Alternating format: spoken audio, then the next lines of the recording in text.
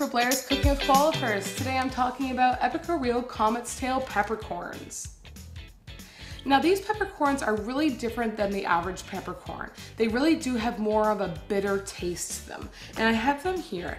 They still have that true black rustic brown color to them. They're the exact same size really, but another visual difference is they actually have a little comet's, I can't pick them up because they're so tiny, um, a little comet's tail that's added onto, or that's on every single little peppercorn. And the actual taste itself also has uh, a flavor to it, a bitter, more of a bitter pepper flavor to it.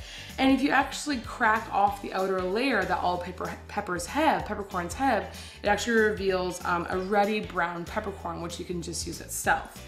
Now the container has, uh, it screws off, so if you want to uh, just dump it into a pepper mill or into a pepper grinder, um, you can do that, or it has a pepper shaker on top if you want to use the actual full peppercorn.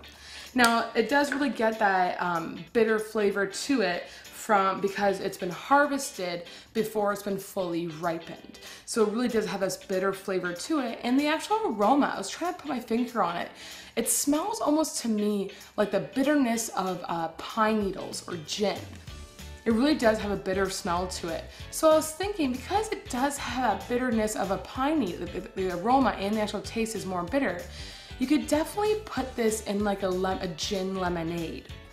So you get some fresh lemonade or you make your own actual lemonade and you add in rosemary and honey and you add in some peppercorns and then you let it kind of infuse the lemonade overnight over a couple of days and you add the bitterness of a little bit of gin and it's a really great cocktail. You put a little uh, lemon uh, uh, wedge on it, really great for the summer and does have that really nice peppery, sweet and sour taste of the lemonade and the honey.